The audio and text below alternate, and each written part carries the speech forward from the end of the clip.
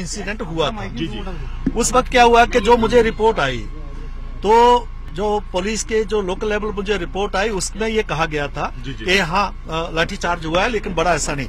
लेकिन बाद में जब हमने इंक्वायरी किया सारे फैक्ट सामने आए तो हमने कहा कि बिल्कुल एक बड़ा ज़ोर से उन्होंने किया था जिसकी ज़रूरत नहीं थी। उन्होंने अपनी ड्यूटी को एक्सीड किया।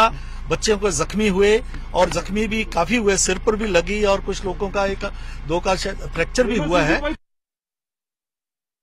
फ़ोन से भी बात हो रही है। एडमिनिस्ट्रेशन के लोग वहाँ हैं। दिल्ली से चेयरमैन आए हैं एनआईटी के चेयरमैन हैं उनके इंटरेक्शन वो कर रहे हैं क्योंकि उसके दो एस्पेक्ट्स हैं। एक एस्पेक्ट है उनकी जो पर्सनल सिक्योरिटी की बात है जो कह रहे हैं जहाँ और दूसरे उनके एकेडमिक सिक्योरिटी की बात है। जहाँ उनकी पर्सनल सिक्योरिटी की बात है जम्मू कश्मीर सरकार का जो जिम्मा है जी, जी। जो इंसिडेंट हो गया वो अनफॉर्चुनेट था उसको नहीं होना चाहिए था इसीलिए इंक्वायरी हमने बनाई है।